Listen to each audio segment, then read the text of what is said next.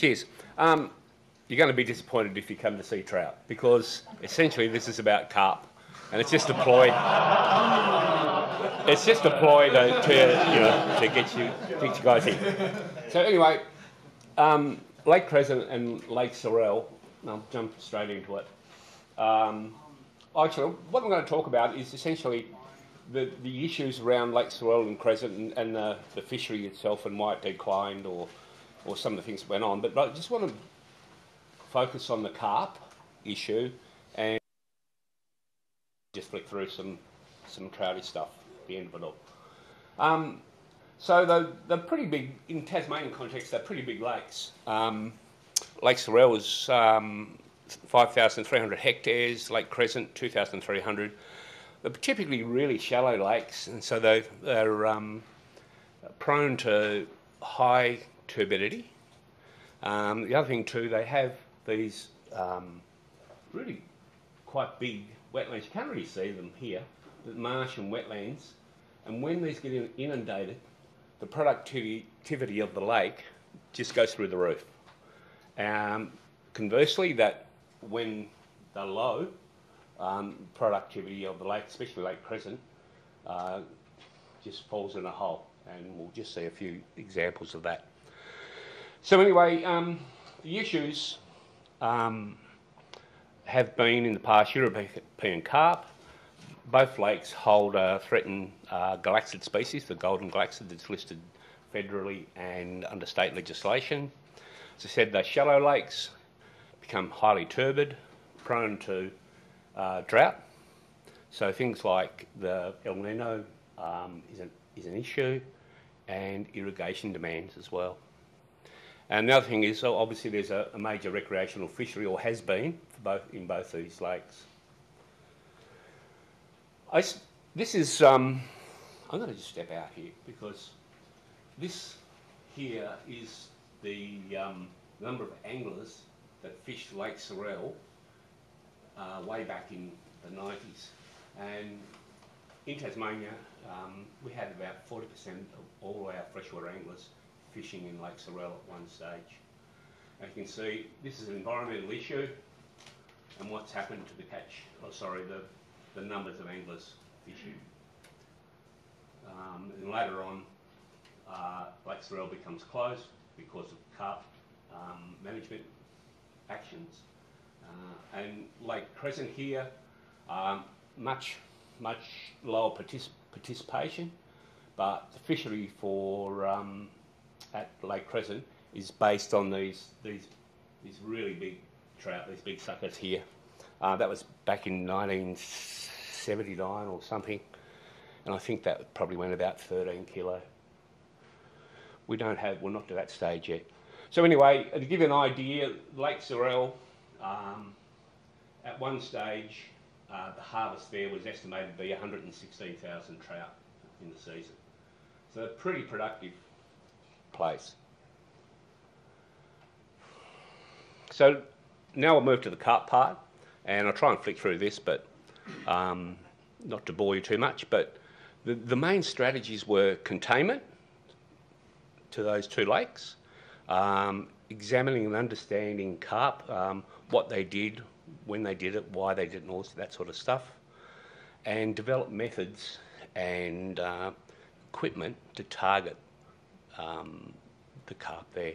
And some of the equipment or, or methods were radio tracking, uh, implanting males, installation of barrier nets and fencing, targeting with uh, gill nets and widespread gill netting, electrofishing, spot poisoning, traps, fyke nets. We even tried trawl gear at one stage, pheromone trials, and then there's been some eDNA work done as well. Um, and water manipulation was used early in the piece to try um, and prevent spawning. But most of all, um, it's been, I, I, I found, I uh, find it a bit hard to say this because I, I didn't do a lot of work on the carp program, but Chris here, sitting here, he, he's been there for the, the whole time, 27 years. So a lot of bloody hard work and dedication to the cause. Um, and that's what's got, got um, basically got rid of carp, and we think we to that point now. So these are here is, um, these are the barrier nets, and there's just kilometres and kilometres. That stop carp moving back into these sort of spawning habitat areas. Fyke nets, fencing, trapping, traps in drains, electrofishing, poisoning. So all these things have gone on. Uh, gill netting, lots of gill netting. Lots of gill netting and more gill netting and more gill netting. Especially um, in Lake Sorell in the later part. One of the real key things in the carp program and one of the, the turning points was um, implanting male fish with radio transmitters. So the, these fish were, the males were implanted with radio transmitters, put into the lake, allowed to mix with the general population in the lake, and then go, the guys went out um, and with their equipment and um, tracked these fish down. And, and out of that is, I've just thrown this one into example, is these points where carp move through and aggregated. And it just happens to be a lot of this is sort of southwest and western shore, and these are the, the more protected shores and shores where there are marshes, so a lot warmer water and marshlands. Cool. Um, this is netting effort in Lake Sorell. I'll just put up this up as an example. Um, at one stage uh, in 1516 we had 215,100 net hours. So I, I, think the daily seven or eight k's of net in, in one day. And Chris was just telling me that um, I think it must be this figure that basically if you stretch your nets would go from what Hobart to, to Sydney in that season. So that's, that gives you an idea of the, the amount of effort that, that it's taken. I won't go through this one here too much, but basically to say this is like Crescent fish down. These are numbers, year. There hasn't been a carp caught in Lake Crescent since 2009. And in Lake Sorell, uh, you can see huge effort and the numbers falling away really quickly to the point where um, we're now down, well, last, last summer, not this one, four carp, and this one I think was November, I put November anyway. We reckon this is the last one. And this is one of our stalwarts, Terry, as well. Terry's in his 70s now and he's been there for ever and a day. So it's been, you know, a huge, huge effort. Now I just want to move on to environmental issues. Um, here we have on the left um, Tassie, and you can see here this is um, the lowest 10% record, records for the lowest 10% of rainfall. So that was back in 2006. So that's that peak there. And then uh, this is the highest 10% of rainfall records. And so you can see basically these are driven by environmental issues, obviously low lake level. Um, way back here, 14 was really low turbidity, what we call NTU units, 14, 329, 250, and at the moment, last month, back down to 18. Uh, we actually had some readings in Lake Crescent at 600. So this is the lake. Um, this is Lake Crescent at a low level, and this is all in marshland now. And it was pretty sort of desolate and, um, yeah, depressing. So as you can see, this is um, a survey we did back in 2021, and check this trout out. This guy. And even this is sort of one of the better ones. So you can see once you lose those wetlands and the productivity, how basically the, the whole ecosystem just just falls apart. And then to get it all back, you just add water. Simple. Simple. Add water. Yeah. Um, there's a guy from TasUni, uh, Jamie Kirkpatrick, and he said to journalists one day, he said, it's funny that fish need water, you know. Um, and it's true. And add water, add mar- and the marshlands just come to life. This are mar- this is the mar- wow. Oh, anyway. Yeah, cool. This is marshland edge right out here, so it gives you an idea of where it's come back to. Um, so add water, productivity, and this is what you get for a trout fishery. These and these are not these are not these fish have not reached their growth potential yet. They've got another two or three years before they stop growing, putting on weight. These are results from the survey we did back in 2021. The blue dots, they're tagged fish. So, so what we did, we went and got some fish from Great Lake in the spawning run, the spawning run, tagged them, put them into Lake Crescent, did a population estimate, and and during that since that time, anglers have re returned um, some, some of the tag information and the growth on these fish. The smallest fish we put out was 260 grams. That's now 1.3 kilos. So that's in 20 months. This one here, uh, just over a kilo, now 3.8 kilo. And the biggest one we released back in uh, 2021 was 1.2 kilo, now 4.5. So they're pretty impressive growth rates. Um, yeah, so, um, the initial rate, uh, average weight was 800, 841 grams. Uh, so now it's like 2.5 kilo nearly. So that's a 95% increase in weight. And this is the result you get out of it. Know, kids catching fish, fantastic.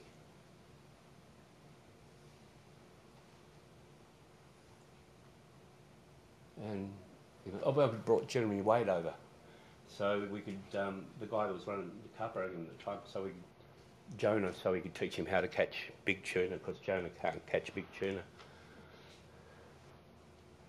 Um, yeah, and it's just fantastic stuff. So it's you know it's pretty simple stuff, you know, preserve wetlands, add water, and try and keep that water in the lake. And, you know, it's just, and it's the result of all. So, yeah, essentially that's it. Thank you. Rob, thank you. Cheers. Sure to being on time, too. Awesome. I didn't think I'd get through that. Uh, Matthew Taylor? There you are. Everyone might be able to stand in front of the here Uh, I can pull this back to there's another room right in there if you want to. see see how it go. See how it.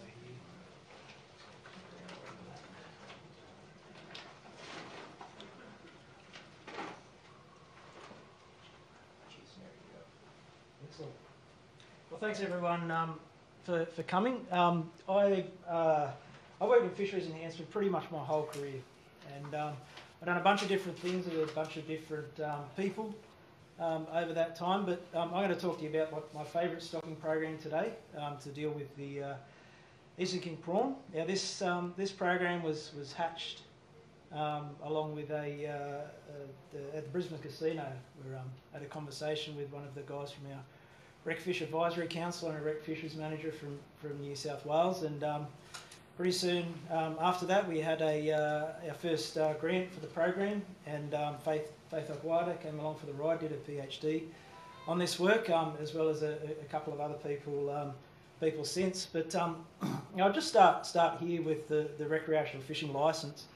Um, so we got this in uh, at the turn of the century in, in New South Wales, and really the idea behind this licence is all the fees going to a fund a trust fund, um, and it's to be used for projects uh, designed to improve recreational fishing opportunities. And so, a number of things happen um, out of this fund. To name a, a, few, you know, there's compliance officers, there's education work, there's there's fisheries monitoring stuff. But three of the big ticket items that are funded out, out of this license fund are uh, habitat repair and rehabilitation, habitat enhancement, um, and, and FADS, and um, and of course stocking. So stocking is what I'm going to focus on today. Now. In New South Wales, uh, we went to, to, quite a lot of effort some years ago to put together a marine fish um, stocking fisheries management strategy, which covered off on the risks and the strategies, strategies um, and, um, and, and uh, prioritisation for a number of different sort of high priority species. Um, but an important part of the, um, the strategy is, is that there was this, um, this idea that recruitment limited criteria should, should be considered um, with, with one exception, and that's in the case of research stocking, where you're doing releases to try and learn a bit more about the system and how it responds. So uh, I'm going to talk to you today about, about Eastern King prawn. Um, a little bit about Eastern King prawn. So that, that's that's a prawn. That's, that's a lobster-sized prawn there. So they get they get quite large. Um, it's an estuarine oceanic prawn. Um, it's uh, harvested to the tune of three and a half thousand tonnes across the stock. At first point of sale, you know, some of the, the better prices around forty dollars per kilo. So it's a it's a high value product. You pay a lot lot more than that at times um, retail. In New South Wales, we harvest about five to six hundred tonne per year, um, all out of the uh, coastal trawl fishery, but it's also a recreational species. And I've just put this slide in here because um, I don't know how extensive recreational prawn fishing is, but it's certainly a thing in New South Wales um, and Victoria. Um, I know there's a bit of it over in, in WA as well, but basically what it involves is usually at night you, you wander around in the shallows with a dip net and a, uh, and a light um, and you scoop up prawns, and you can do that from a boat as well. Uh, some of the more enthusiastic people that want bigger quantities can use a six metre dragnet as well. Um, and it's a yeah, it's a it's a great great fun thing to do with with with, with your family. So, in New South Wales, um, about 110 tonnes per year uh, harvested across three main species. Um, about 50 tonnes of those are, are Eastern King prawn. Um, so most of the um, Eastern King prawn recreational fishing occurs in this area here, south of south of Sydney, um, and that happens for a couple of reasons. So first of all, we've got a lot of these um, these coastal lagoons. And these are great prawn habitats because they're nice and saline. The eastern kings uh, don't, don't like fresh water that, that much. Uh, but they're also shallow and they're easy for people to, to access for that, for that type of fishing, you know, wandering around the shores. And of course, as, as, as, Rob just pointed out to us, habitat's really important. So they have a lot of the habitat in there that, um, that um, um, eastern king prawns um, need.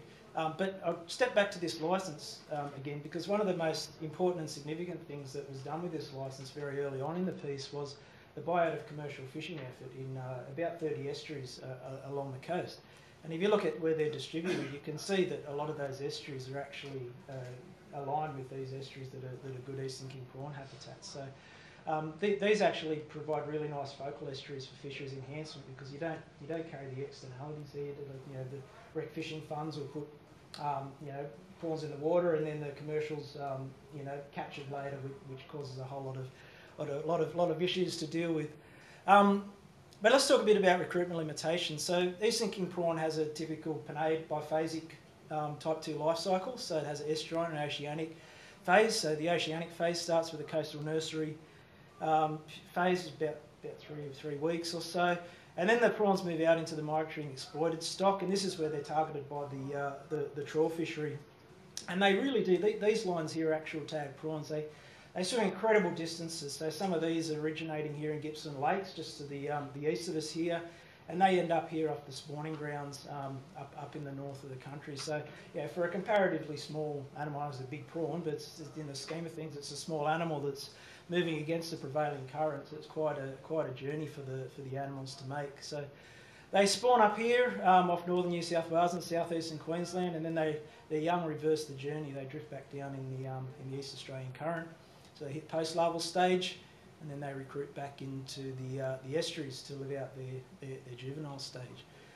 Um, there's a couple of couple of things that contribute to recruitment limitation in eastern king prawn um, in the south of the state. And the, the first is really just the tyranny of distance there. So we've got the spawning spawning grounds up here. We've got the, the, the estuarine nurseries down here. I mean, there are nurseries all the way up along the coast, but I'm just concentrating on this part here.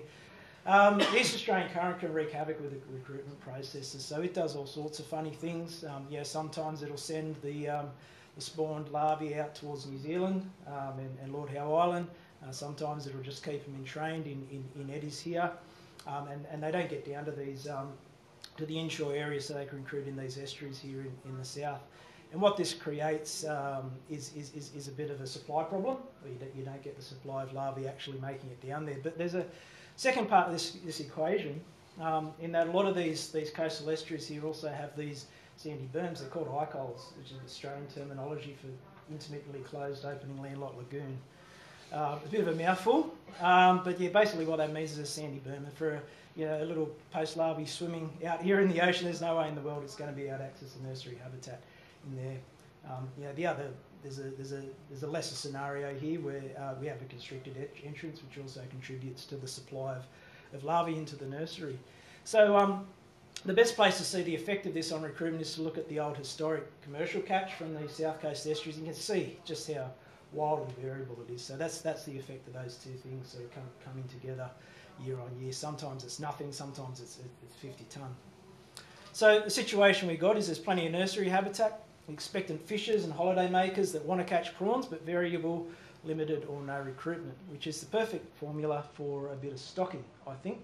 Um, so just to summarise all this information, stocking generally occurs in estuaries that are in southern species range, generally close to the sea or have restricted entrances, have abundant juvenile habitat, they have shallow bathymetry for warm temperatures, which supports growth and productivity and ease of harvest. So we've done a bunch of research over the years to develop stocking strategies. We've looked at things like um, ecosystem productivity rates, um, net ecosystem metabolism, alongside animal respiration. You know, trying to get to the harder questions like how many prawns should we put in a particular system. So we've got a quite a neat stocking model that we can use to look at different stocking scenarios and um, and sort of uh, use that to frame what we do in any particular estuary and in any particular year and, and what we might get yielded out of a particular stocking event. But the stocking process is, is easy and hard at the same time. Um, so prawns um, tend to mate um, in periods coinciding with certain parts of the lunar cycle. And so what we find is a lot of females out there actually inseminated already, so they're carrying a spermatophore. Um, so what that means, it means there's next to no broodstock management. All we need to do is we need to catch female prawns from the ocean trawl fishery off the north of the state, bring them into the hatchery and they can spawn. Then we can get rid of them. When we want to stock again, we just go out and, and, and, and get some more. It's a panmictic stock, so there's no stock structure there that, that, that we really need to worry about. Um, so once we get the get the spawn, they're growing up um, as, as you do in penaeid aquaculture in these uh, 40,000 parabol- litre parabolic tanks to about um, uh, somewhere between 15 and 20 uh, millimetres total length um, for um, uh, which is their which is their post larval stage, and that's the stage that they move into the estuaries and and settle out. Um, so once they're reared, we move them um, move them down to the, the, the, stocked estuaries. We ferry them out um, on boats you know, to, across the key habitats um, that are important for their survival. We acclimate them to the water, um, and then we release them. So fairly simple process. Uh, depending on the size of the estuary and its productivity, we're usually looking at releasing millions of post larvae per estuary. Now, um, we've done a fairly intensive body of monitoring over the years. A lot of that involves citizen science and, and, and anglers out there that were measuring effort of other anglers as well as catch and effort of, of themselves. Uh, a lot of independent survey work as well using a, a various uh, different approaches. Um, and we used, uh, to confirm that, that, the ponds are actually ours, we, we developed some genetic techniques, um, which we basically use maternally inherited markers. We're only really caring about the females, and we match that back to the brood stock that we used to, um, used to spawn them. I'll just put in this, no presentation's complete without a good video.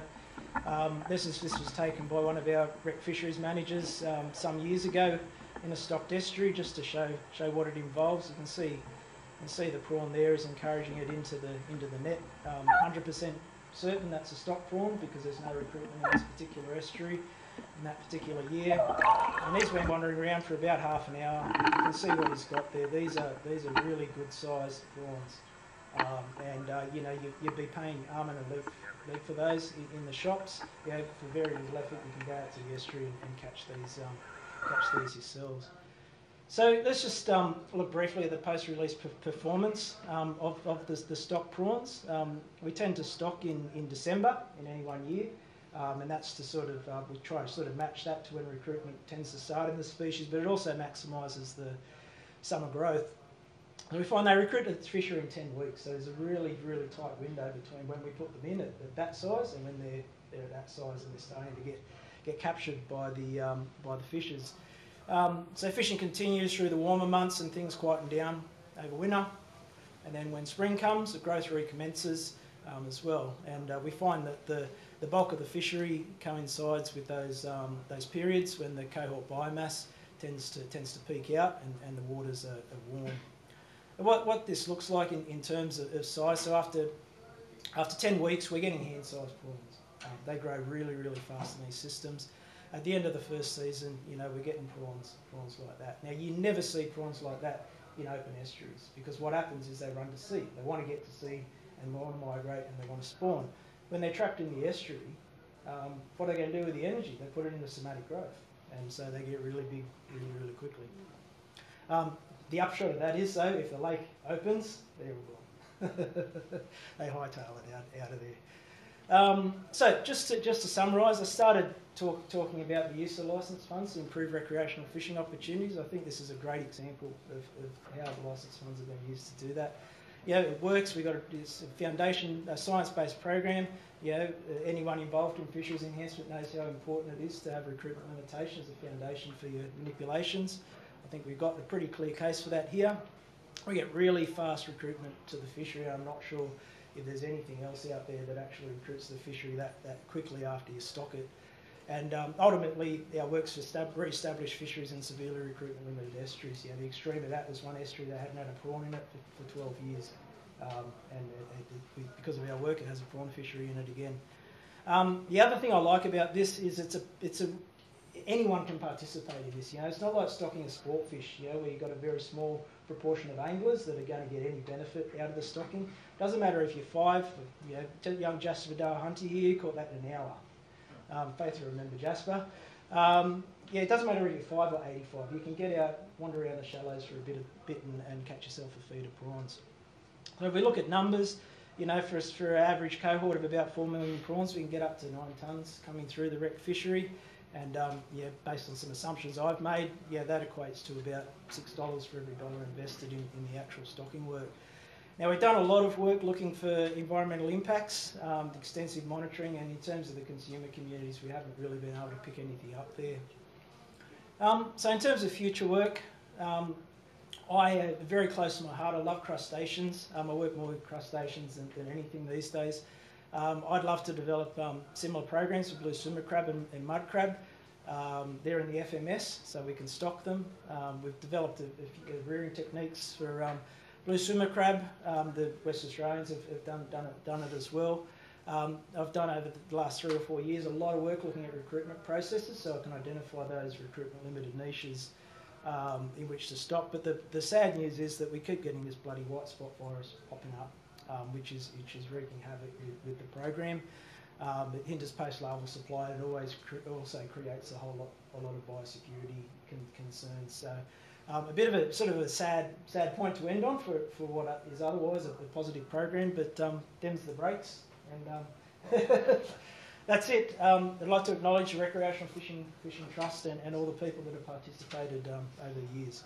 Sorry, Faith, you're an author. I don't know why you're here twice.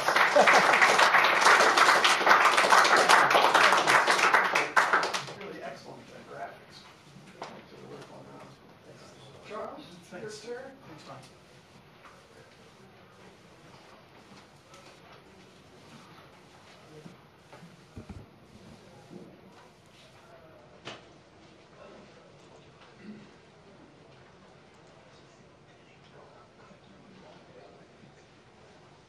How do we get out of here?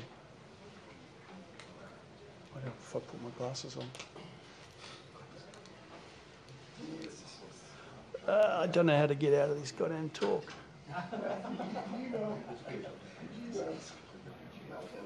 That's right. I got it.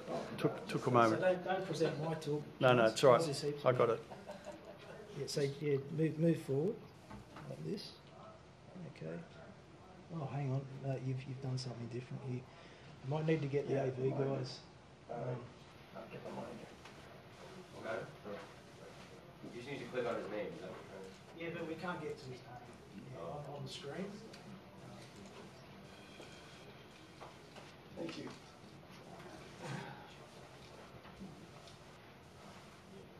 Number four.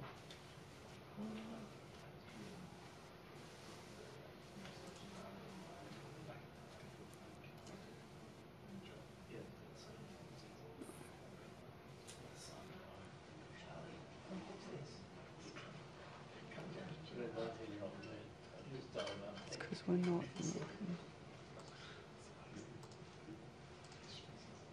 I think I grabbed one of the other two guys. One second. Talk amongst yourselves. We're still stuck. We're stuck. Oh,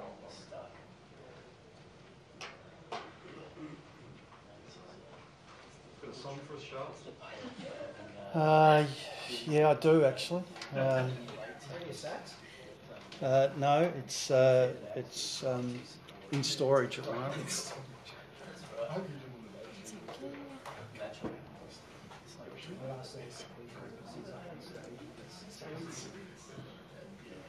Shut up. Charles is you. Thank you. All right, sorry about that, folks. Um, uh, I'm going to talk on recreational fishing in the Murray-Darling Basin and would like to acknowledge my co-author, Ivor Stuart. The Murray-Darling Basin is over a million square kilometres covering southeastern Australia. Uh, the Murray-Darling Basin is the most regulated river system in the world. Native fish in the basin face unprecedented threats from climate change interacting with significant human modification of the basin and these threats manifest themselves in a variety of ways, but most relate to changed hydrology and altered natural flow regimes of this river system, with significant water extraction in the northern basin and reverse seasonal regulated flow in the southern basin. Some issues for recreational fishing in the Murray-Darling Basin include no basin-scale overarching organisation to oversee reg- regulations.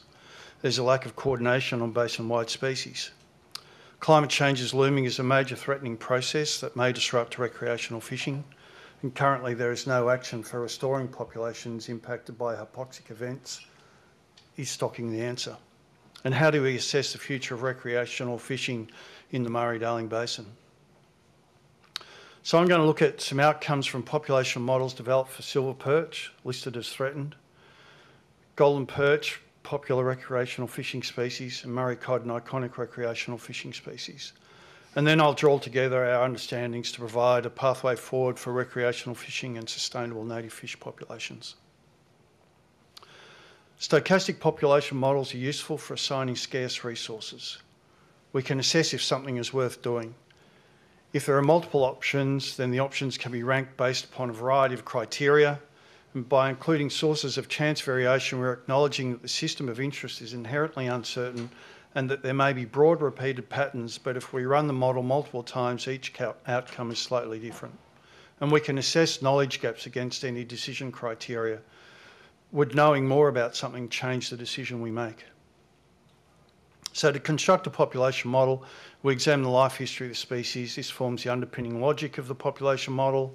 The biology provides the structure of the population model. The ecology identifies the relationships between the species and its environment and provides important context as to the drivers of population dynamics. We establish where flow and temperature influences the life history and identify any other impacts or threats and include these in the population model and we quantify these processes. We collect data where relevant to the life history and estimate survival and fecundity rates and assemble all of this information in a mathematical framework. Silver perch life history reveals they are long-lived, fast-growing, have variable fecundity, females sexually mature at four years of age, exhibit large-scale movement, are a flow-dependent spawner, have egg and larval drift as part of their life cycle, and both juveniles and adults move. So we developed a metapopulation model for silver perch in the Murray-Darling Basin, where we defined 14 connected populations with flow and temperature providing spawning cues at each location with egg and larval drift, juvenile and adult movement driven by flow. We look at output for the whole Murray-Darling Basin as well as the southern Murray-Darling Basin and the northern Murray-Darling Basin. We did not include impoundments in our model and consequently silver perch are stocked in seven rivers in our model of the basin. Of these seven rivers, three are in the northern basin in yellow and four in the southern basin in blue. Here there are trajectories from 1,000 iterations of the silver perch metapopulation model with stocking. We see that dynamics vary through time in response to the 36-year flow and temperature time series, and we can see that population increases in the 80s and 90s and then declines through the millennium drought. The black line is the mean trajectory, blue lines are plus or minus one standard deviation, and red lines is minimum and maximum. Very similar pattern for the southern Murray-Darling Basin. And why is this? Because the silver perch population in the northern Murray Basin, in the northern basin is predicted to have declined significantly. The forecast population decline is supported by field sampling where very few silver perch are found in rivers and little evidence that spawning or recruitment occurs. Silver perch can be considered functionally extinct in the rivers of the Northern Basin and to examine options of silver perch I'll present output on the mean trajectories. So this is the mean trajectory with no stocking. There's virtually no difference when historical stocking is added, so we asked ourselves, can we restore silver perch populations by modifying the historical stocking regime? What if we increase the historical regime by a factor of 10? Not much difference. A factor of 100, we can see a small response. With a factor of 1,000 times the historical stocking regime, we can see that the decline in silver perch population is halted, with a relatively substantial population established. The historical stocking regime has no benefit for silver perch in the Northern Basin rivers and requires significant ramp up of effort for recovery to be delisted and open to rec fishing again. Do we have the capacity to do this? Now to look at golden perch, an important recreational fishing species in the Murray-Darling Basin. Golden perch are long-lived, fast-growing, have variable fecundity, females sexually mature by four years of age, exhibit large-scale movement, flow-dependent spawner, egg and larval drift part of their life cycle, and both juveniles and adult move. So here's a construct for golden perch in the southern Murray-Darling Basin with flow and temperature used to define spawning, egg and larval drift, juvenile and adult movement. We used a model flow and temperature data set from 1896 to 2019 to examine golden perch population dynamics. And we can see the population dynamics respond to flow and temp with recognised patterns from known events such as the 1956 flood, uh, producing a peak in adults in 1960, the wet decades of the mid 70s to 80s, the flood in the 90s, and declines during the millennium drought. Commercial fishing began in 56 and we've included recreational fishing from 1956 onwards with a 5% chance of being caught and kept for golden perch greater than 30 centimetres. I'm going to focus on 1956 onward, presenting on mean trajectories. So here's the mean trajectory of this scenario with commercial fishing and recreational fishing and no stocking. This is the same scenario with recreational fishing removed, and we can see how recreational fishing changes population trajectories can we use stocking to account for recreational fishing impacts and approach scenario 2 trajectory? So stocking 200,000 golden perch in each population, a total of 1.4 million fish makes a marginal difference. The outcome when stocking 1 million fish in each population, stocking 2 million fish in each population, stocking 4 million fish in each population every year from 1956 achieves close enough to parity with, with scenario 2. We can calculate the expected mean of all 1,000 trajectories and compare the different scenarios. The percentages relate to the change from scenario 1. We can see that scenario 6 is very similar to scenario 2, indicating that scenario 6 achieves the goal of accounting for recreational fishing effects on population trajectories.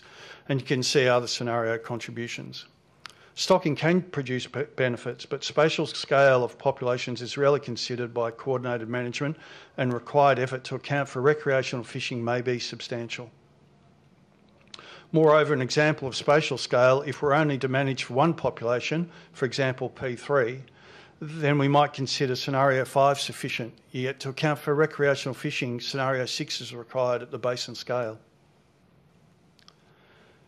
Now onto Murray cod, which are long-lived, have variable fecundity, females sexually mature by five years of age, to 1.4 metres in length, with the fishery slot 55 centimetres, 75 centimetres. They exhibit strong site fidelity, prefer flowing habitats for spawning, and are highly vulnerable to hypoxic events. Mullaroo Creek is a small flowing anabranch system, approximately 20 kilometres in length, and is an important breeding population in the lower section of the Murray River where little breeding occurs due to large weir pools. We modelled fishing with a 10% probability of being caught and kept in the slot and a background of two hypoxic events in 2010 and 2016. A mark-recapture study conducted during 2016 event was used to quantify the hypoxic impact on Murray cod to estimate population recovery we repeated the flow and temperature time series from 1980 to 2009 and added this after 2021. We see the following, uh, that following the 2016 hypoxic event that there is slow recovery. For the rest of the uh, uh, presented outputs, I'll focus on results from the 2000 onwards uh, using the mean trajectory. Here's the mean trajectory of fishing. Can we recover the population to its pre-hypoxic event state using stocking? Here's a trajectory when we add 25,000 Murray cod for 10 years from 2016. Stocking 50,000 Murray cod. 100,000 Murray cod stocked for 10 years returns the population to its pre-hypoxic event state. Are there other options? Fishing closure for 10 years post 2016 provides steady but slow recovery. Fishing closure for 10 years plus 25,000 stocked Murray cod provides recovery to the pre-hypoxic event state, though slower than scenario 2. Hypoxic events generally occur at a basin scale and therefore numerous populations may be impacted and the stocking required by multiples of this example. Uh, depending on resources available and the scale of hypoxic events, integrated solutions may be required, including closures, to protect important breeding populations.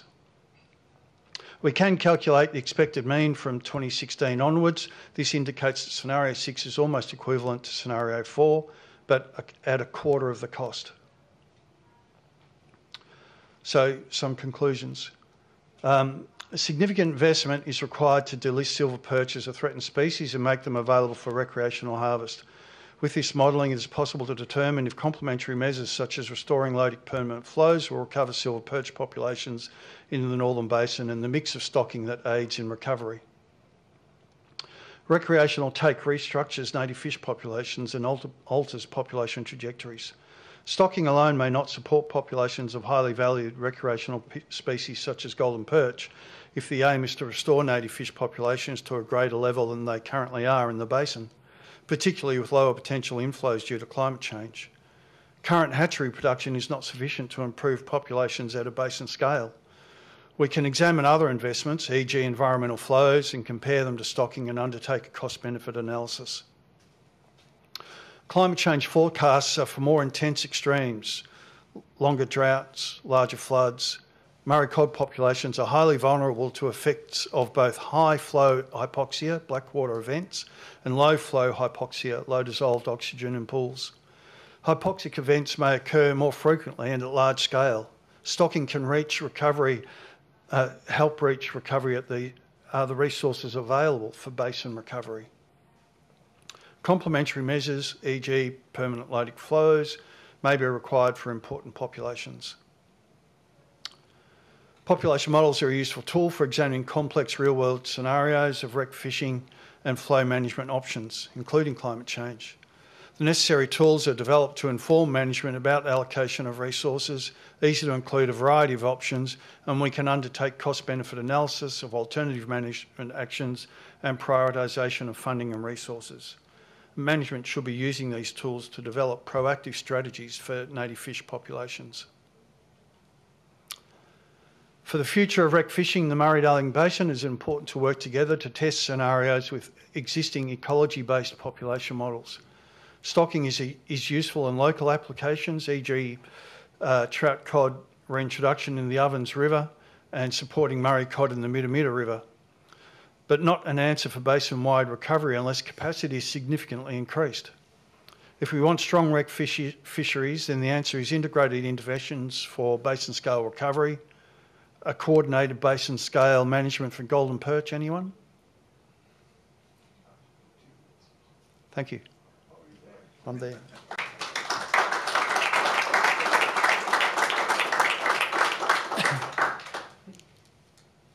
Thank you. Thank you. Paul, you ready to take us to British Columbia? Talk about rockfish? That's me.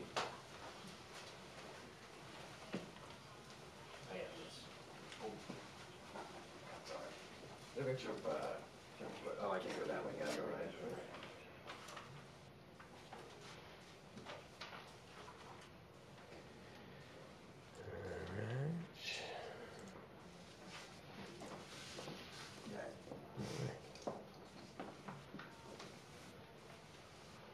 Let him go? Yes, please. All right. Thank you all for coming. if you see my other talks, this is something of a change. I've been getting a reputation of uh, being a guy who works with app data. This is kind of a story of a failed app study. Um, I can tell you, if you're uh, over a drink sometime, how, how that kind of went down. Um, and so this is some other data we were able to analyze as a, uh, through this project. Um, and I wouldn't say failed study, but uh, a little bit more effort required than we, um, than we anticipated. Uh, the system was a little, little bit challenging. Um, a key takeaway from this, um, uh, this talk is going to be the importance of education and enforcement uh, with respect to um, rockfish conservation areas, and I would say conservation areas in general. Uh, show of hands if you are uh, familiar with uh, Canada's uh, west coast, southwest coast, Vancouver, um, Victoria, if you've visited, wonderful. If you've been there, you know it's absolutely beautiful. So I've got some images sort of blurred in the background to give you that, that sense of, of the beauty of that area. It's also beauty, uh, beautiful under the water and includes a lot of important um, uh, rockfish species that are inland, and unfortunately, they are um, uh, of conservation concern, largely due to fishing mortality.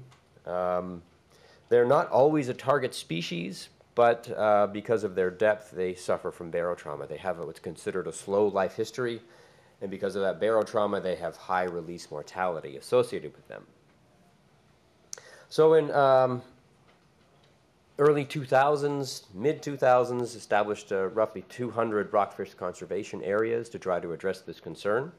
Uh, and in these areas, fishing was prohibited. And, and, I don't think this map shows all of the areas. I think they continue further north, but this is the, uh, the bulk of them. A paper was studied in 2016 that I want to introduce you to and, and kind of go over the, the main results of that study, although I think the title kind of says it all, um, that this, there's a compliance issue within the system, at least when that paper was published.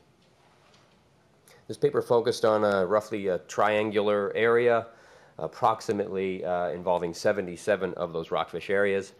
They had data from uh, uh, showing fishing from aerial creel, creel, surveys in 2000, so before these areas were established, and they were visiting them in 2007 and 2011 to look at uh, compliance. Uh, and there was a compliance issue. So just those main findings, low or no fishing effort in 44% of them, so that's good, but effort was medium to high and over that time frame stayed high or increased in, in roughly half of the uh, rockfish conservation areas and decreased in just 11% of them. Compliance was um, lowest in, in, uh, for, sorry, uh, for large RCAs that were in uh, popular fishing areas with low enforcement, um, likely resulting in the mortality of thousands of rockfish per year. And this is a direct quote from the paper. Um, emphasizing the importance of uh, education and enforcement. Uh, just to drive that point home, um, there's a, a, an area where they were able to do some so fairly localized surveys and just showing that kind of lack of awareness of these, uh, of these areas. I think it's encouraging, though, that uh, uh, when there is noncompliance, it was not uh, really intentional. In most cases, at least, this is what the survey respondents were saying, is that it was, it was unintentional. They didn't know that the RCAs, these conservation areas, existed or knew where they were. Um, some of them believe that, yes, I can avoid fishing for rockfish in them, but it's okay to fish for salmon. And really, this is full closure. Um, so uh, there was uh, a lot of uh, education and enforcement uh, campaign as a result of this evidence that um, it's not just, you can't just create these protected areas, people need to know about them. And you need carrots and sticks. And so uh, what we're doing is upgrading that, um, that paper by analyzing data and with two main questions. Has compliance improved as a result of education enforcement and what happened during COVID as well? So we have data from 2019 to 2020 and begin by focusing on uh, how things looked between um, um, 2011 and 2019. So that 2016 paper, that the last data they had were from 2011. And Apologies. So uh, first I want to focus on the gray areas. These are buffer areas within one kilometer of those conservation areas. And you can see that in general, there's really no change in fishing. um, over that uh, eight-year time frame, but a dramatic, dramatic reduction in fishing as a result of enforcement education. So this is a, a real win. Um, um, and it's overall uh, much better compliance as a result of, of that education and enforcement. This is an example of one of the signs they had at the conservation area near a boat launch so that people are aware that these exist. Um, compliance did remain high, though. You can see that here in some of these outliers in 2019. And if you look at those areas, um, it's typically in RCAs that are associated with um, uh, non-local or tourist fishing, um, which really plays into that lack of awareness and not knowing where these are and not really knowing the rules and just wanting to go out and fish. um, 2020 to 2021 includes the impacts of COVID. And we see a typical pattern of uh, fishing both inside and outside of these rockfish conservation areas. That typical COVID pattern where everyone was out fishing in 2020 and then it, it, it was starting to decline in 2021. So we see that in both cases. So this is a reference in 2011 and 2019. So up and down, up and down there as well. Uh, effort increased in 23% of the, those rockfish conservation areas and, and decreased in just 6% of them. Um, this is a time when there was very low enforcement. The, uh, the education was still there, but not as much. The, um, the uh, NGOs that do some of this education, that face to face, they were not able to operate. Um, they were only able to do things remotely and through email, et cetera, just due to you know not being able to uh, interact and, and maintain social distancing and everything like that. And so um, a little bit of a, of a free for all. Um, it's interesting to look at where the effort seems to be increasing and where it seems to be de decreasing. Um, the declines were mostly in those tourist areas, which makes sense if you know tourism was shut down, and and so it looks like the non-compliance was largely near population centers as a result of, result of local fishing. Um, pure speculation as to whether that was an intentional uh, or not certainly is consistent with um, um, efforts to get people fishing locally. This is not from Brit British Columbia, but this is from uh, New Jersey, but a very common um, effort there to get people uh, outside and fishing during the pandemic, but staying local.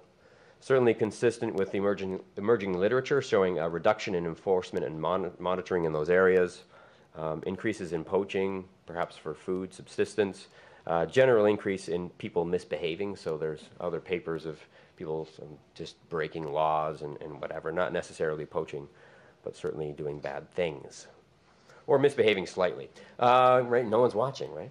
Um, so, Jane, uh, main conclusions here um, high rates of compliance are possible, um, but they're unlikely in the absence of education and enforcement.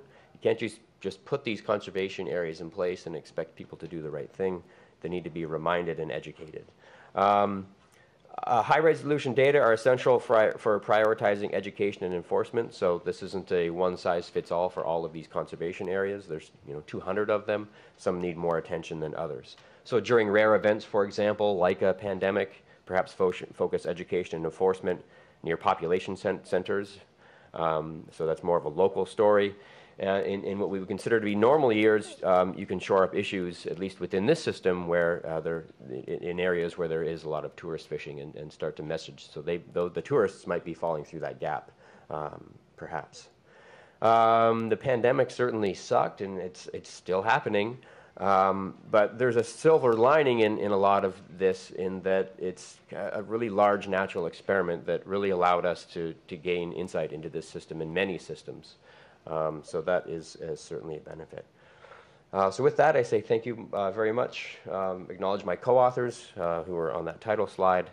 We have uh, funding to, to recognize as well, help from uh, people within the lab and, and elsewhere, and um, travel support from, from the, uh, the conference. Thank you.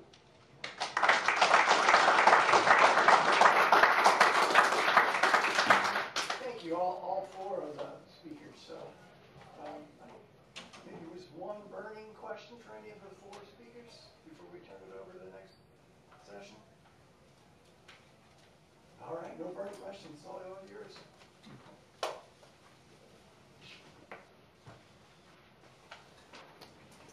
So you're next. Yeah. There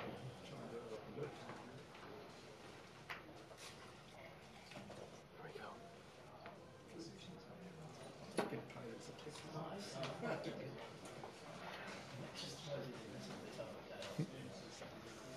Hi everyone, um, good to see you all here. I see Matt Landos here and I'm going to make some comments today about microbiology, so go easy on me mate, I may not get it all right but we'll do what we can. Um, I'm just going to provide a story today rather than a research topic, uh, which is about how we develop some reservoir fisheries in southern Australia and do a case study in South Australia, which uh, we always tell people is the driest state and the driest continent in the world. So when we talk about freshwater systems in, uh, in South Australia in particular, we feel very sensitive uh, in comparison to some of the uh, North American freshwater systems we've got. So why is reservoir fishing so important? Well, again, going back to that analogy of the driest state and driest continent, we just don't have anywhere to fish when it comes to freshwater. Uh, we have one major river system, which is used very heavily for all sorts of things. And so reservoirs are one of these uh, venues where we've tried to get access over many years and eventually got to it. And people really like going to reservoirs because they're safe and they're accessible and they're pretty nice places as well. Um, most of them are in the vicinity of the metropolitan zone of Adelaide, the larger ones, but there are some remote ones that we'll touch on as well. Um, these experiences are based on working with a few different water authorities or water companies, whichever one you want to call them. Uh, water New South Wales, which has a very large portfolio and, and manages the bulk water supplies to Sydney. Coliban Water, which is more of a rural uh, water supply, but for potable water to Bendigo, etc. And SA Water, which is the uh, sole water manager, uh, bulk water supplier in South Australia, all working under the Australian Water Quality Guidelines, which define what uh, sort of standard of water gets to the tap, but also has some really interesting stuff around the threat uh, process, uh, sorry, the threat assessment process you need to go through in order to determine what level of water treatment you need to have for your supplies. Now, as I say, these are guidelines. They get ranked and, they, and that helps you determine, as I say, the level of treatment, but, you know, sometimes we see anomalies in that. Um, there's a couple of others as well we've worked with, which is uh, Grampian, Wimmera, Mallee Water and Goulburn-Murray Water, who are predominantly um, irrigation suppliers, although they do have some uh, potable water supply remit. They actually have recreational management within their legislation, and they're really good to deal with. So oh, the other ones are not that bad, but you get my point. Um, so dealing with water companies, some of these are private companies, but, uh, well, say, uh, commercialised companies, um, they have a culture which is around water supply. It's not about recreational management. Their core business is water supply. Their capability is around engineering and delivery. And they're profit-making organisations. Even companies such as SA Water provide a lot of money back to the South Australian state government for other essential services. They have vast estates of land uh, and need to deal with issues such as bushfire, vegetation management, erosion. Um, visitor management is often a, a, bit of a foreign thing to them. Um, it's not seen as something that they really want to do, um, but uh, accepting that over time they're going to have to. And water quality is, the, is number one uh, kid on the block for them. And most of these other things through here, oops, are about managing for improving water quality or maintaining water quality. We're going to focus a little bit on the disease aspects of uh, water supply because these other things are quite manageable. If, you're a, if you manage a national park, and there's many, many national parks, you're dealing with these things anyway. The technology, the know-how, etc., the recipe is there. Um, but, and so we almost move past them in a sense when we, when we, we have the negotiations, and this disease aspect becomes the one that actually dominates the conversation.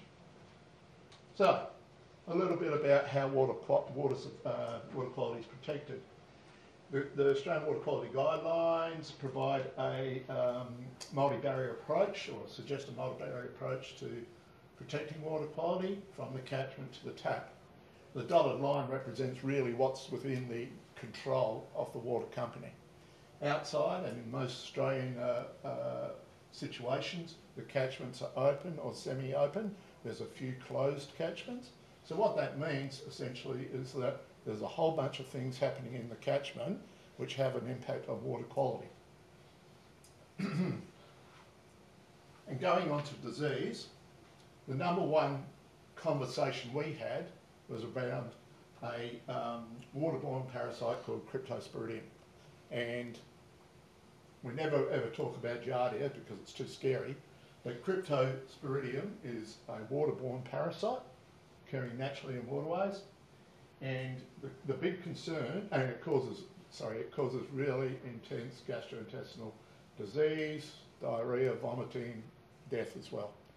And so this is when you hear about bad water quality, yes, there's colour and so on and so forth, but this is the one that is considered the greatest threat when considering human access to reservoirs.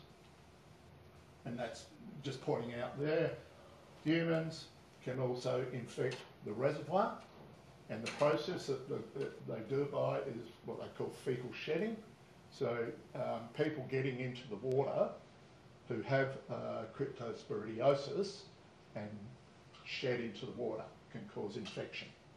So the, the concern very much is about allowing people into the water, um, but people are demanding to go into the water, particularly people kayaking, and there's a demand for other types of activities as well. The dilemma, of course, is that many animals carry cryptosporidium in their systems, and they exist in the catchment. And you take many catchments, there are extensive agricultural areas, there's pets, there's natural, natural wildlife, and there's people living in these catchments. Um, in some cases, hundreds of thousands of people living in the catchments. So it, it sort of it really places the water authorities in a, in a somewhat compromised position because whilst they want to stop humans getting into the reservoirs, we've still got these natural vectors and uh, reservoirs becoming infected anyway. And from the catchment to the reservoir. So beyond here are the issues, but we'll get onto them right now. So cryptosporidium, if it's getting in there anyway and it causes so many problems, are we being compromised in the water that we're getting delivered to us?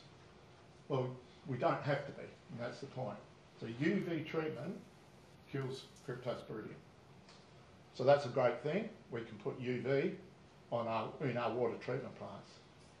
Problem is, they cost a lot of money, and therefore there's few UV facilities on our water supplies in Australia. Now, how do you, how do you deal with that? You say, okay, our health is being compromised by the lack of these facilities. Even if rec fishers aren't in reservoirs or swimming, we still have this threat. And there's a really big sort of model around threat and risk management that I can't go into and uh, which, uh, yeah, I can't even actually interpret sometimes, and it's the domain of the microbiologist. Matt could probably help us somewhere along the line there, mate. Um, so when it comes to having a negotiation with a water authority around accessing reservoirs, it revolves around, well, put UV on and it's all solved. And the answer is, well, there's not enough money to do that. And the, the response is, well, you're putting my health at, at risk. And you can two, kill, uh, kill two birds with one stone by investing. Now, just to give you a perspective of the culture, I, I guess, is that we started negotiating access to uh, the Sydney water reservoirs uh, about five or seven years ago. And the thoughts were that a UV plant on Prospect Reservoir, which is in Western Sydney, could provide a number of opportunities through that catchment. And of course there was resistance and they said, look, it's $30 million for us to do that. And then a year later it was $100 million to do it. And then two years later it was 500 million to dollars to do it. Now it's 1.2 billion to put a water uh, uh, UV plant on. Now UV technology is not that complicated. So uh, I'm just going. What I'm pointing out is we're still going back to that culture of core business, profit driven. The reservoir aspect of the multi-barrier approach actually provides some some uh, barriers within barriers, but they also provide some recreational fishing opportunity. This is in South Australia. Um, this is a wet reservoir network called the South Para uh, uh, network, if you like, and it has three reservoirs in it. And this arrangement, which is quite typical, does provide opportunity because of the diminished risk of cryptosporidium in the water supply. So what you have is Warren Reservoir, which used to be part of the potable water supply system, highest in the catchment, now used for irrigation water. Fishing is allowed in there now. We managed to get that through in 2016. South Para is a large storage reservoir. So a storage reservoir is something that stores water but is not connected to a uh, supply. And fishing is allowed in there. And if you really want to experience some good fishing, go there at the moment. It's great. See Alex and Luke. And then lastly, we have Barossa. Now this is this isn't part of the, the catchment. It's discrete from the catchment, and water is actually piped from there to Barossa, and it has a water treatment plant on it. And because it has no UV, fishing is not allowed in there at the moment. Now, that seems fairly logical. Uh, however, there's some anomalies coming up. If you've got systems like this, where water treatment plants are on a, on a reservoir somewhere, and you've got storage facilities, the thinking is that there's some some distance because there's some distance or some sort of um, disconnect, if you like, between storage reservoirs and uh, supply reservoirs, is that fishing can occur on water and land-based fishing can occur, and kayaking can occur. And SA Water have accepted this to the point now that this is a very important part of their portfolio. So I'm moving into a case study now on SA Water. And RecFish SA, who are the peak community body in South Australia, fishing body, and this is a little bit about history. So in World War II, the reservoirs were closed down because apparently the Germans were going to contaminate the reservoirs in South Australia. Um, eventually, in 1996, through some political manoeuvring, um, they opened South Para Reservoir to fishing. And I just happened to join SA Water at the time as their catchment manager, and the instruction was make sure this doesn't work because we don't do this. You know? And they did, it was effective, you know, it, it didn't really work. Um, there was 500 people there on opening day and like three the next day. It, it was bad access, there was no stocking, and it was quite a disaster from a fishing perspective, but suited their need. Now they moved from there uh, to Warren. They said, we're transferring now because we need to do some work on the uh, spillway in here. And Warren is that really accessible reservoir. It's got the road running alongside of it. They didn't promote it, no stocking or anything, but it actually was the beachhead in many ways because people were using it more often. There was no real negative impact going on. There's been no evidence of water quality degradation over these times. And what that actually provided us was evidence that rec fishing could co-occur with water supply. So the government in 2014, as an offset to putting in marine parks, said we're going to open four reservoirs for you. So the four that they nominated are all offline or non-supply reservoirs, redundant, decommissioned, call, you what, call them what you will. And then it happened, you know. It was, it was just an incredible period between 2016 and 19. They were opened, they provided a grant scheme, we stocked these uh, uh, reservoirs with Murray-Darling Basin species, cod, silver perch and golden perch. We were given management rights for many things and uh, things were wonderful and we thought there was other opportunities. Unfortunately, the government changed and there was some political argy-bargy and RecFish lost its traction, basically de defunded. But that government was committed to open reservoirs as well. But they took another step which talked about opening supply reservoirs, and that was really quite a profound uh, point, that policy they were making. Government's changed back again, and RecFish SA are now back in the mix, though under a different management regime. So, this is basically what's happened. The initial reservoirs opened were these three non-commissioned reservoirs, the two up here are up near Port Pirie, if anyone knows it, uh, Flinders Ranges, stocked, small, um, but wonderful nonetheless. Two of them fished really well, the other one's almost inaccessible. The fourth of those is this one, um, which was stocked and probably the best of the lot, but unfortunately there were some land management issues around there. It's never been opened since. And then we had an approach from National Parks to uh, develop a fishery up in uh, the northern Flinders, the Aroona Dam near Leigh Creek, which is like an outback fishery. It's something very, very unique and uh, really showing good signs. And then, whoops, the new government came in in 2019 and opened two direct water supply reservoirs, which was like, wow, this is incredible. How are you going to do this? And they're like, well, just telling SA Water it's going to happen. UV's been put on both of them, but the government's never been overt about that because of the cost involved. This was in the electorate of the water minister at the time, and this was in a marginal seat. Good thing is, they stocked this one with 6,000 Murray cod between sort of 40 and 50 centimetres. Instant, it- Instant fishery. instant fishery. And people who don't even know what a Murray cod were catching them. It caused problems with handling and so on and so forth. But he retained his seat, so it was good for him. this was stocked with Murray cod, golden perch, silvers, I can't recall. And uh, we thought there was some trout somewhere, uh, but not too sure on what happened there because we've been precluded from it. But the fishing community has benefited immensely from these. So we have this network of reservoirs now. In terms of size, you know, they're mud puddles compared to other places. But they're all we got, and they actually provide some fantastic fishing for people that really pursue them. So going on a little bit onto what management was, this is how it started, when the Water Authority didn't really want much to do with this. This is the Water Authority uh, responsibility, compliance, regulation and state management. They said you can do everything else. Licensing, we were given the permitting scheme and we ran the permitting scheme and the money generated came to us, which is like, how has the government ever done that before? But it did. We paid for the stocking out of this, we promoted, we put habitat in, and we did many things around stewardship, which was included things like um, clean-up days, you know, kids fishing clinics, so on and so forth. In 2023, we got, we've got to this point. and you can see the blue's growing immensely as a result of that change in government. The yellow is sort of in there, but we lost the permit scheme.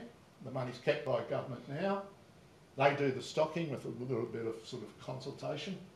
Um, they've implemented a research program. I'll show a couple of results on that in a little while, which is great, uh, and taken control in many areas. Habitat and stewardship and promotion is probably where the recreational sector as a whole has more influence now. Interesting point about both of these things is that we consider they're both sustainable fisheries. Okay, the fisheries were growing, people were really enjoying them and getting behind them.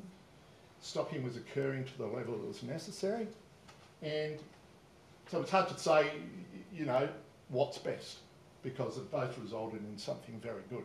For me, at the end of the day, probably somewhere in the middle is where it might land, but that's a personal aspiration. So what's been achieved? I'm going to flick through this, and it's just a series of pictures. We've planned it out for all reservoirs. This is Aroona up in the Flinders, unbelievable spot if you're travelling around. Uh, we've been putting habitat into Warren and South Para. Business, you know, little Johnny's got his live fat uh, fishing worms. So if you're going up that way, buy some fat fishing worms. We've got lure makers that are in, in the area. We've got one in the room here. Uh, media, you know, a lot of social media about these things. Uh, the research program, you see the SARDI crew in the back there.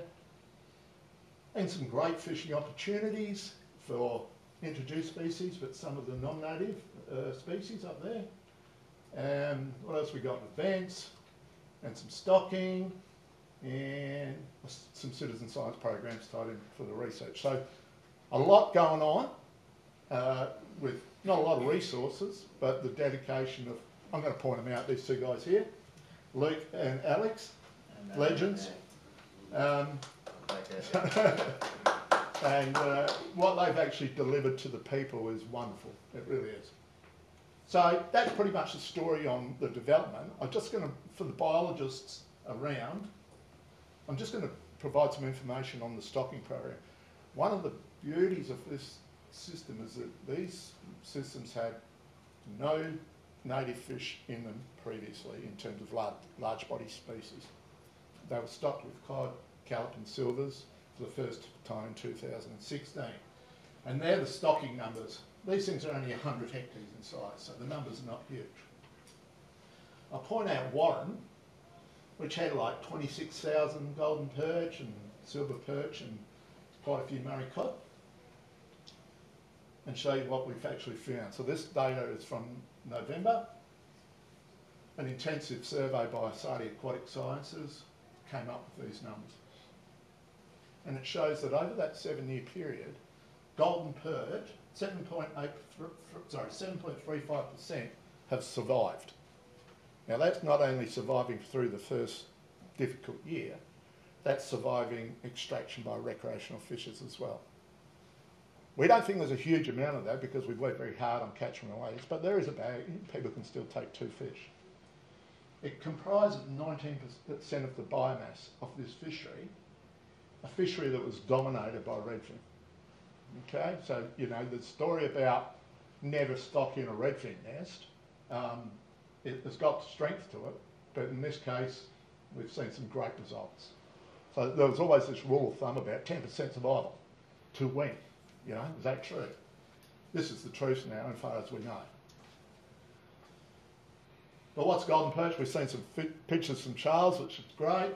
Wanted to just show you one uh, and why people love it so much. It's this staunch Murray-Darling Basin native. It's the little Aussie battler for our international guests. Hits lures hard, pulls hard, tastes pretty good if you want to get one. Impressive fish all round. And that's it.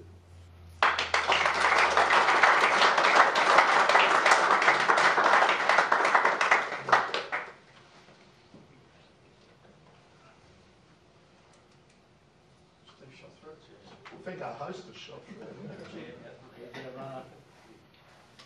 Yeah, John, you can, you can get us up there and, uh, I can if you want. no, why not? No, Jody. Why not? Should be doing something, I suppose. Free ride for me. Um, so, want to get our speakers up and, uh, some questions you can, uh, ask them.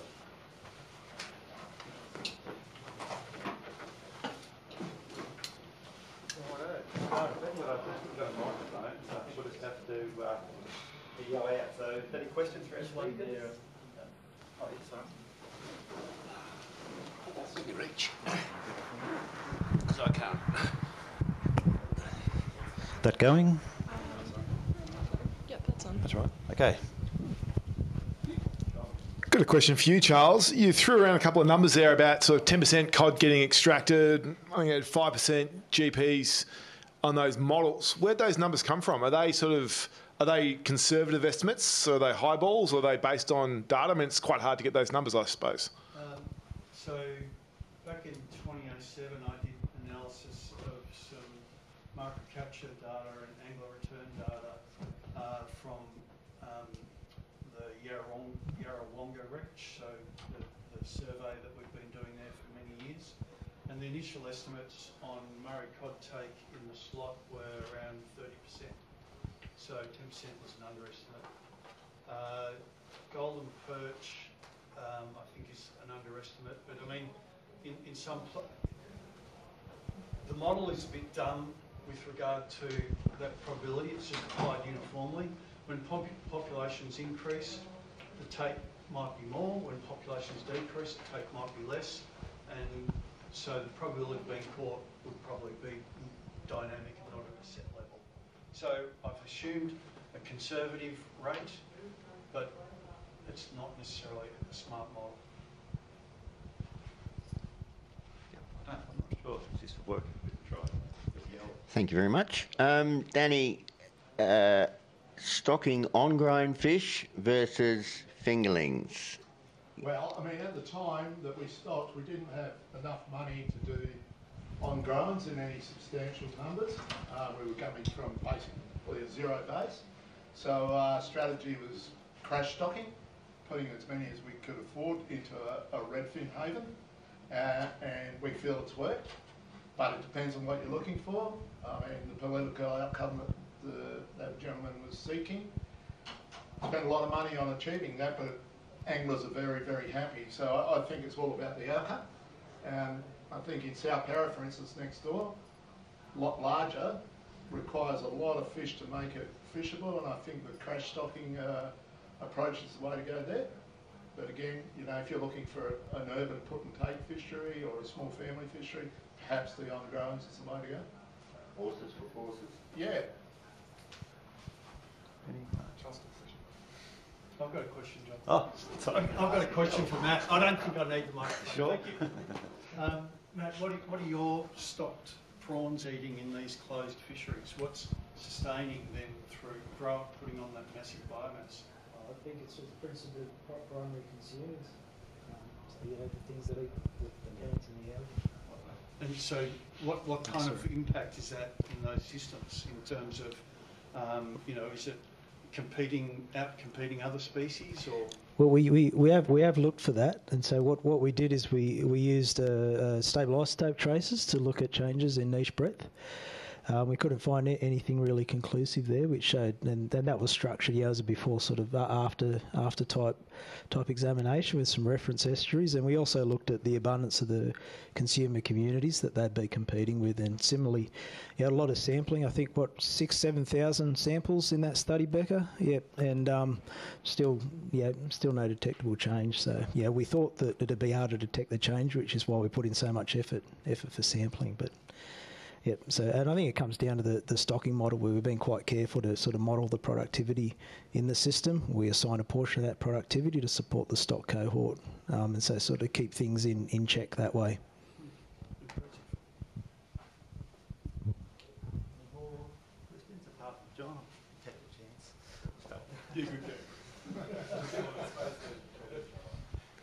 Uh, Charles, have you run your model forward um, a further four years after the most recent floods to predict what kind of populations that we should be predicting to see? Sure. What kind of dynamics might occur? So the simple answer is no. I don't have data at this point. Um, I I um, spent most of the last week just running these simulations. So this is kind of hot off the press. Um, so I haven't got any of the latest information put into these models at this point. Um, I you know I look forward to doing that uh, in the near future. Giving it back to John. Uh, Rob, um, so when you drop the water level down, obviously it's good to get rid of the carp. You're exposing, you're killing the aquatic vegetation. If you bring it up too quickly, you'll get a whole lot of turbidity. How did you manage that water level fluctuations to make sure that you didn't just get a massive turbid state that you could get none of this um, aquatic vegetation going, which is needed for productivity? We basically left it to the gods, really. Um, there, there are structures in place to um, hold, you know, gates and whatever to hold water back, regulate water. Um, also um, Water Trust is basically um, has an allocation of water as well. So um, you know, it, it just built up naturally and, and we just had to hold back enough water um, to provide for that allocation. Um, yeah. It's just, it sort of goes to show you like the resilience in the system. Like you can just sort of, once that inundates, there's still, you know, lots of crocodiles and things all sitting in, in the muds and marsh, you know, back, back areas. But uh, it's amazing how quickly all that. Yeah, thanks. It's a, a question for Paul. Um, I'm I'm from BC as as as well, and uh, I'm quite uh, glad to see the work and efforts that that you're um, looking at. Uh, you know, seeing how those RCA's are being used or not, and uh, also it's interesting to know sort of the effectiveness of the RCA's, which is sort of a related discussion but different. That I realize what you're up to. A question though for you, Paul, is I, I'm curious to know how how sort of the uh, the effort and um, um, the the anglers that were in these areas w- was determined. Was it just through the creel, or was it uh, uh, angler reported, or sort of a combination of those things, or not? And part of the reason why I asked that is because you actually touched on it in your presentation, is that there are uh, First Nations that uh, that can fish in those areas, and quite often they're in the similar kinds of boats that uh, or uh, non-indigenous um, recreational anglers would be in as well. And so I just wondered, one, how you uh, kind of address that challenge or how that was uh, determined, because it's it's tricky, uh, Yeah. understandably. Uh, it, was, strictly flyover reels. So that's, that's, that's. Should I have the microphone? Yeah, it was strictly flyover. So um, those were just observations, and um, there it, there's can be some confounding with that. Uh, certainly with the with the native fishery, um, we've been approaching them um, and trying to get if they have any information on, on when and where fishing was occurring, and the records either um, are not available or, they don't want them to be available, which I understand. Um, so yeah, it's just it's, it's those observations, and and apparently they get close enough that they can see fishing lines, and that's you know that's kind of the rule apparently they use. If they see someone actually fishing, then it counts. Um, and so traditional fishing can involve that, but it could also be you know, pots and, and nets and things as well. So if they are fishing, it's a native fishery with rods, then it would be picked up. So there's probably some of that going on. Thanks, I can show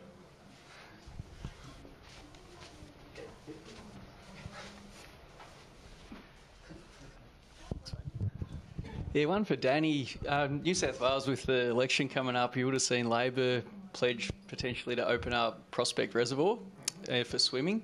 What are your thoughts on that for fishing access with regard to their treatment in there? Well, um, as I say, Prospect uh, is really the hub of water supply to Western Sydney, and actually, I think they, they've talked about potentially up to 70% of the water that comes out of the system goes through Prospect before it reaches your home. Now, a commitment to swimming obviously means that you're going to have to do something. You either accept a risk that cryptosporidium is going to be an issue for the population, which I don't think is going to happen, or you put water treatment in the water treatment plant. And this is where this latest number of 1.2 billion for a UV light has come from.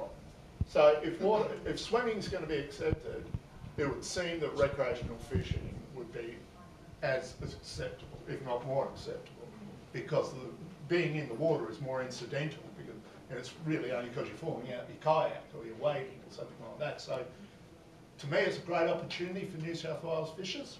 Um, if you're seeking to try and get access to your reservoirs, I'd suggest that, you know, perhaps that's something you need to take a hold of and, and run with. Um, but, you know, there will be strong resistance from the Water. Um, I have one, one last question, because getting near uh, cup of so I'll do this and you can uh, take it. Question for Danny. Um, have you given any thought to what's going on with all the pumped hydro that's being promulgated, uh, well, or t- discussed at least, if not uh, executed, and how that might impact some of these um, fisheries, particularly um, near near some of the capital cities like like Sydney and Brisbane and so forth? Yeah. Yeah.